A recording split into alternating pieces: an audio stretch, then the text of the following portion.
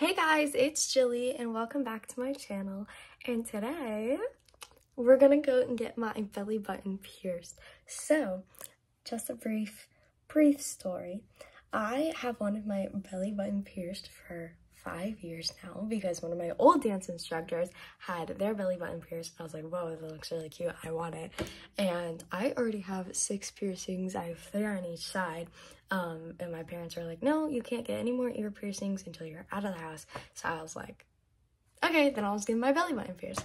Um, so I convinced them, and then my dad was like, well, if people on Instagram say more yeses than nos on a poll, which I put up on my Instagram at It's Jilly One if you're not following it yet, then I'll let you get a pierced. And, well, clearly the poll said more yeses than nos. So I am here. This is my fit for the day. I have Converse with these cute pants and shirt from Aero.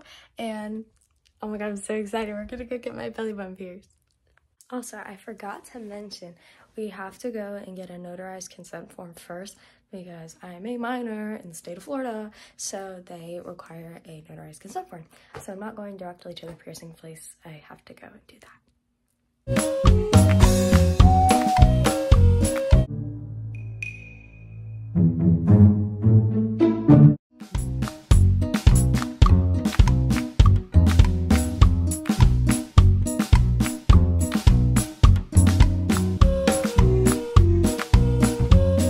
Okay guys, so there was some copyrighted music, so I'm gonna have to do a voiceover or else YouTube will flag me.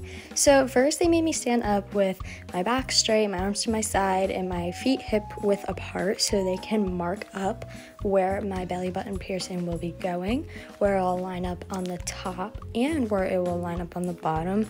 I'm gonna mention that my piercer was really nice.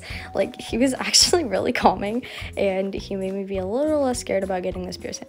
Then he laid me down and we took like these little clasps and he took the skin where the piercing's gonna go and he pulled it back basically. And there's a rubber band on it so it'll keep it closed and it'll keep it like in the spot that it's supposed to go. And there's also like really close piercing content coming up. So if you're squeamish about that kind of stuff, then I suggest, you know, probably skipping through this part a little bit. Then he told me to take some deep breaths, and I actually didn't realize, like, at this point that he was putting the needle through until the third breath, and then I felt it. If I'm gonna be completely honest, it wasn't that bad. It was probably like my second most painful piercing. I have six total, so it wasn't that bad.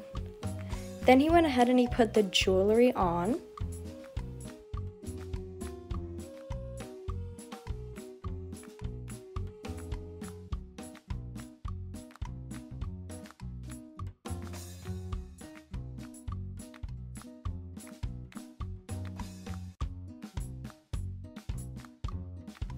And I was all done.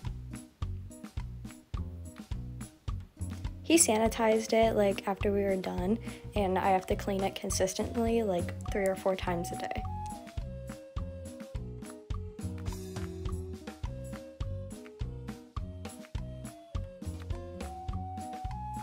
And then I got up and I was able to actually look at the piercing in the mirror, and I was literally so happy. It looked literally so good. Okay, guys, so I just got home from the piercing shop, and oh my god, here, I'll step in the sun for you guys. I'm literally so happy. It looks so good. It's so pretty. Um, the stone is a little bigger than I wanted to, but I can replace it in I think six to eight weeks. I said if it's healing well. So as long as it's healing well, I can switch it out. Um, but yeah, so that's it. That is me getting my belly button pierced. I'm literally so happy. It looks so good. Um, I would highly suggest, if I'm going to be completely honest, it really wasn't that painful. It was probably less painful than my third piercing. Um, and it doesn't feel bad at all now. So yeah, I just have to take care of it and make sure it stays nice and healthy, and that's it.